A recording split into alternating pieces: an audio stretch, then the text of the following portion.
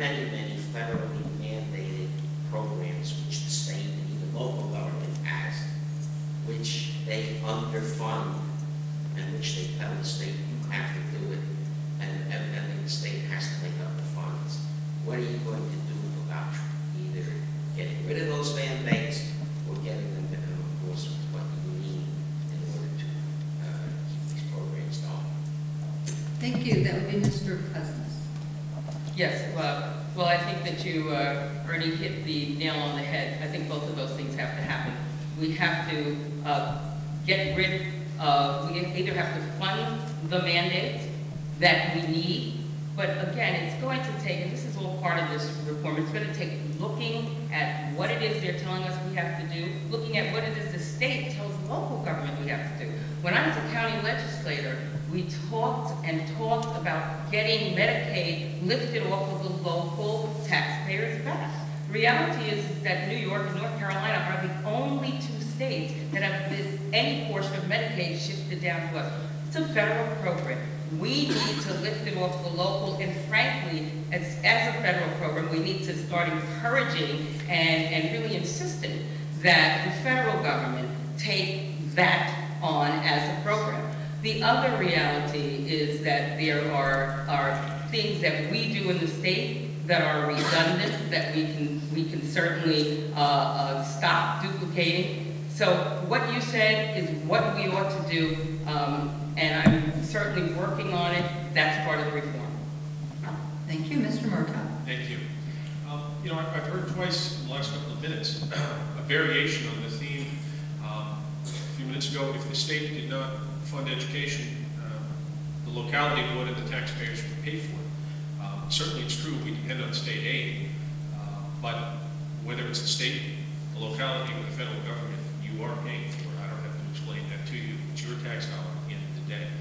Um, but you know, your, your question to mandates, the answer is obvious. Uh, We have to cut out on the federal level, and we have to talk to the last two speakers about uh, what they would do about that.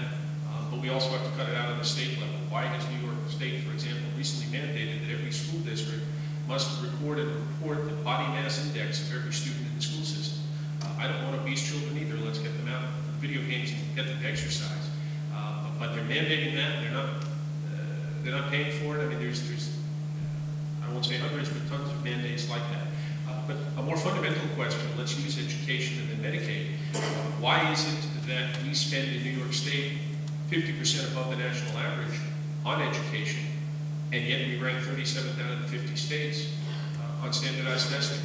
Why is it that we spend about forty billion dollars a year on Medicaid, and yet studies show that about twenty percent of that, one out of every five dollars, is either going to waste duplication or outright fraud. Uh, And last year, I think the controller reined in about two hundred million of that, billions of dollars. Uh, We're not doing our job. Thank you. Next question.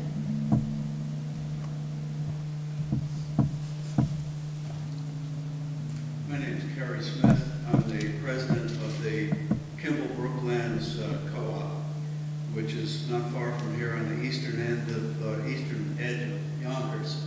Thirty years ago, a, uh, a parkway was built over an aqueduct. Running parallel to that, right behind our apartment building and behind 900 uh, Palmer Avenue, two apartment buildings, approximately 500 people live in there.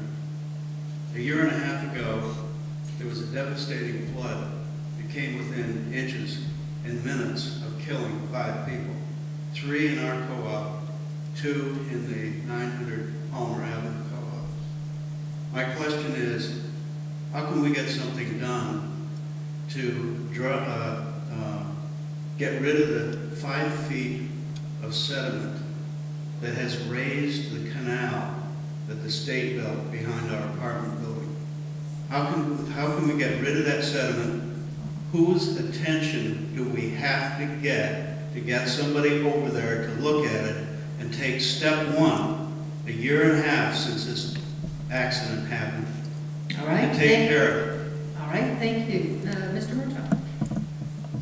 You know, sir, it's an excellent question, and frankly, I'm as curious to hear the answer in a minute uh, as you are. Um, As you, I'm sure know, I was there a year and a half ago, uh, helping load people into boats.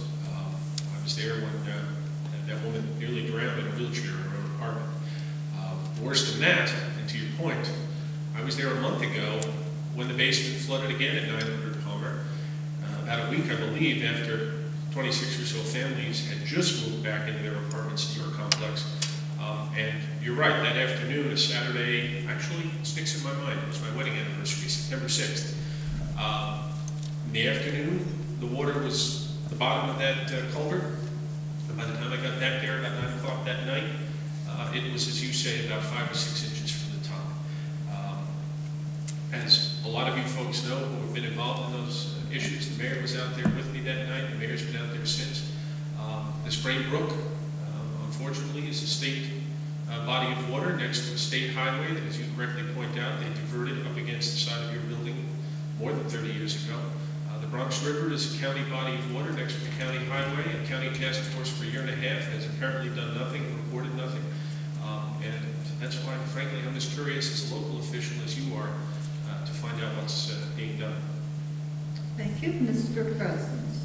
Well, I, um, I'm sorry that you didn't reach out to, to my office, John, because we probably could have gotten to work on this a lot, uh, a lot sooner collectively. What it's going to take is all of us, um, sitting down at the table. I was at a meeting with the mayor, I guess, a couple of weeks ago, where there were so many people talking about the flooding. Certainly after this, uh, um, devastating flood a year and a half ago, I too went not only to Yonkers, but to Greenburgh, we brought DEC, we brought DOT, and of course, everyone has reasons why things aren't uh, as they should be. But certainly, I will commit to sitting with you and bringing the, the right people together. I know that my uh, counterpart, Senator Klein, has been working uh, on these issues as well. Though, I think it's going back to the bigger picture in terms of the things that we need to do to start making um, this work. Jobs, infrastructure, the kinds of things that are happening, the flooding that's going on, not only in Yonkers, but it's really, in many ways, a matter of getting people to work, to recreate our infrastructure, to take care of the sewer system, to do the things that I think this time really suggests that we can plan, do, and make happen. It would help, it would be a win-win-win. Right, next question.